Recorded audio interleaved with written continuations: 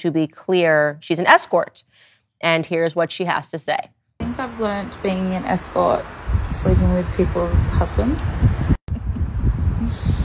mm, you can do better. He can do more for you. He's just doing it with other women. He's comfortable. You let him be comfortable. He loves the kids and he doesn't want the kids taken away, and that's one of the main reasons why he's staying. These kind of men need carers. Nine times out of ten, they're the irresponsible parent and you're the responsible one.